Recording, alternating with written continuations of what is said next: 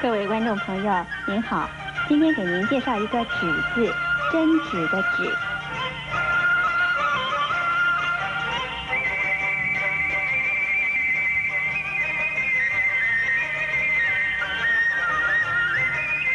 纸这个字的国语注音是“纸”，三声“纸”。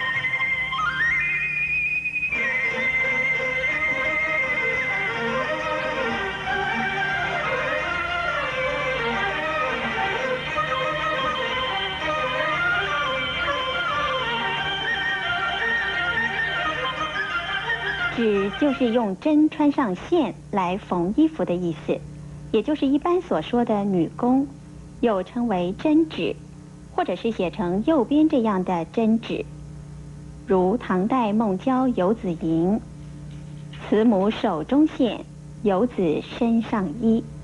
临行密密缝，意恐迟迟归。”剧中的“临行密密缝”。就是描述慈母正在做那女工的针织工作。纸字除了做以针线缝织来讲之外，其他的解释跟用法并不多。另外，纸也是部首之一，但是属于这个部首的字群很少，比较常见的只有这个“斧”字。斧是古代礼服上刺绣的花纹，半黑半白，像一对斧头的形状。另外还有这样写的“福”字，也是古代礼服上刺绣的花纹，像两个自己的“己”字，也有人说成是工字相背的形状。但是“府服”一词，则是指礼服上绘绣的花纹，也可以用来比喻显要的官吏以及美好多彩的文章。刚才提到妇女的针织工作可以称为女工。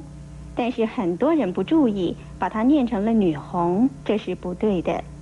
红字除了读红二声红之外，还可以读工。国语注音歌翁工一声工，念工的时候，在意义上有的时候可以跟工作的工字通用。比方说，女工就是右边这样写的女工，是泛指妇女的工作。所以针指也可以说是女工的通称。最后要提出来的是，指字可以说是一个少见难认的字，书写的时候要注意它的笔画，下半部中的左右都是一竖。